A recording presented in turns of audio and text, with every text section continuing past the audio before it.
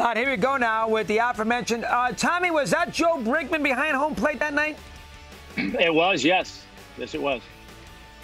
All right, was he a pitcher's umpire in that situation, or is he a hitter's umpire in that situation? What was his take? Let me hear. Uh, you know, I, I, would say he was uh, he had a, a, a, good pitcher strike zone that night. Um, you know, I think he's one of those guys that, um, at least reputation wise, was you kind of had to go out there and, and kind of establish what you were trying to do and, and feel your way into it. And I think once, certainly once uh, I got into a groove, um, you know, he was, he, I think he got into a groove with me.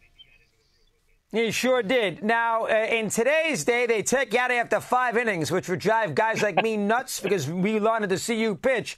Did you have anything left? You had Wohlers there, so I understand it. But did, could you have gone out for the ninth?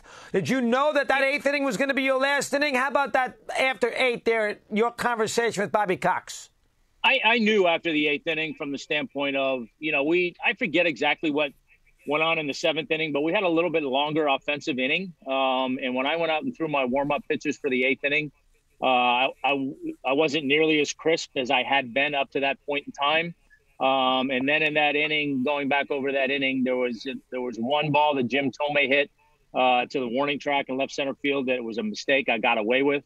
Uh, I think there was another at bat that might have been uh, a deeper fly ball that it was a mistake I got away with. So I knew that my warm ups weren't as crisp. I got away with more mistakes probably than I had had, had made to that point all night long. So, um, you know, we had Mark Wohlers waiting in the wings, and he had a heck of a year that year. So I, you know, I, I told Bobby after that inning, hey, look, I think I'm done. So um, I think it was the right thing to do. I mean, Wohlers, like I said, he had a great year, and uh, they had the top of the order coming up in the ninth inning, and he made easy work of it.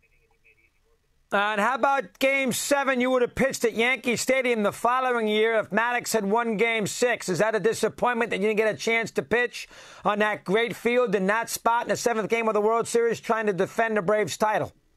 Yeah, look, I think you you always dream of being in a World Series and you always dream of being a guy in game seven that pitches the clinching game. Um, unfortunately, you know, we weren't able to get there. And, you know, that's probably the one when, when people talk about our World Series and, and uh, only winning one and, and what have you. Um, you know, we got beat by some pretty good teams in 91 and uh, then again in 92 by Toronto. I think the one against the Yankees in 96 is probably the one that we felt like we let get away, you know, to go into New York and win two on the road um, and then not win another game. I mean, it was obviously hugely disappointing. And we had a pretty good lead um, in one of those games in Atlanta that we let slip away. So, I mean, I think that's the one we look at and say, man, we we kind of beat ourselves in that one uh, more so than any other one. But yeah, that you know, Game Seven in Yankee Stadium. I mean, look, as a kid that grew up in Boston, um, not a real Yankee lover as a kid, obviously. Um, that's the kind of stuff you dream about pitching on that mound in a, in a Game Seven World Series setting. Now, 100% game four, 6 1. Who could forget? Wohlers gave up the home run to Leyritz, two games to one Atlanta. All right, I got to ask a hockey question. Remember, folks, Mr. Glavine was drafted by the LA Kings in the NHL. Let's never forget that. This is one of the great athletes you're ever going to listen to. All right, this has got a chance to be an excellent series. Colorado, Tampa. Who and why? Let me hear. Go ahead. I, am going to take Colorado just because they've got home home ice advantage, um, and and they've just been so good all year long. Look, it's it's hard to bet against Tampa, um, and you know, as a um, a fan of the game, look, I, I respect everything Tampa's done, but I'm tired of them winning, so uh, that may be part of it. But um, look, they they've shown uh, they are championship mettle. You know, you can get them down, but it's tough to get them out. Uh, Toronto had a chance to knock them out. The Rangers had a chance to knock them out, and they bounced back. So they're going to be tough. But I, you know, Colorado, I've watched them a fair amount. Uh, they're deep, they're fast. MacKinnon's a heck of a heck of a player. Um, I guess the one thing that I would look at in that series that might be the difference is the goaltending. Uh, Vasilevskiy's been so good. Um, you know, Colorado, their starting goaltender was hurt. I don't know if he's going to be back for the series or not, but I think that's one thing to keep an eye on. Excellent point. I, I, couldn't have analyzed it better myself, and they pay me to do it. So there you go. All right, Atlanta. you know that. You were listening to me scream about you half the time when you were with the Mets. Uh, all right, you got uh, um, the Braves won 11 in a row. Now, let me play, uh, you know me, I'll throw cold water on it. They beat the Diamondbacks, they beat the Rockies, they beat the A's, and they beat the Pirates. And the Braves deserve all the credit in the world. Last year, the defending champs. But maybe we don't really read too much into it. You wanted to win the 11, but it's against a bad team. What's your take on that for a sec? Let me hear. Go ahead. Well, I, listen, I don't I don't disagree um, in principle, but I think that's one of the things that uh, when you are a when you're a team uh, and your your your goals are to win, uh, and you look at the schedule, um, you know you you always know your division to some extent is going to be a dogfight. Um, this year, obviously, the Mets are playing well. Philly's kind of getting things back in gear. Uh, Miami's been hot lately too, so the division's been playing good baseball.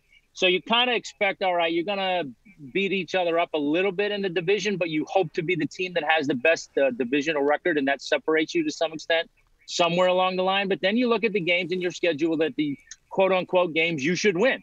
Uh, and the Braves are in a stretch right now of games that series that they should win, and they've taken advantage of it. So um, I think anytime you look at a team uh, that disappoints uh, during the course of a year, a lot of times you look at the, those games against teams that you figure on paper they should have beaten and they didn't take care of business.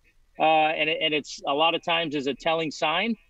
Here you have a case of a team that, that got to a soft part of their schedule uh, and they took advantage of it. Now, I don't, even with that, you wouldn't expect to go in and, and win, uh, what are they at, 13 in a row or 11 in a row now? And, you know, you look at it and think, well, okay, we're going to win series. We can win these series but to rattle off as many games in a row as they have, I don't think you ever anticipate doing that. But um, it's come at a good time. You know, I mean, they're they're they're a deep lineup. Ronald's gotten going, obviously, uh, so that helps the lineup a lot. And their pitching, starting pitching, has been really good.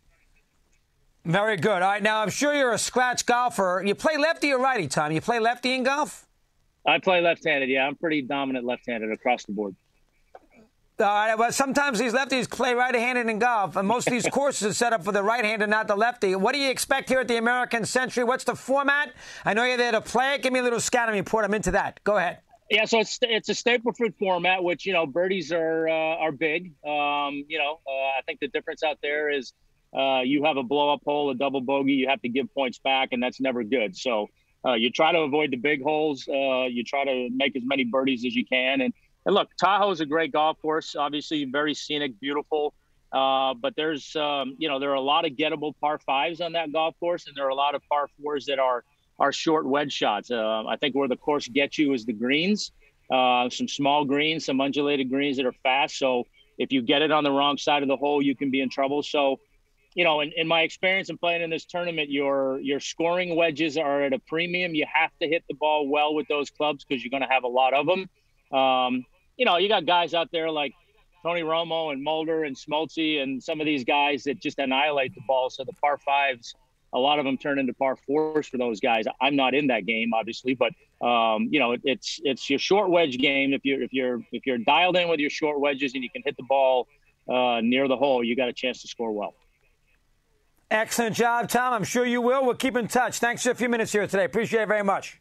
I appreciate it, Chris. Thanks.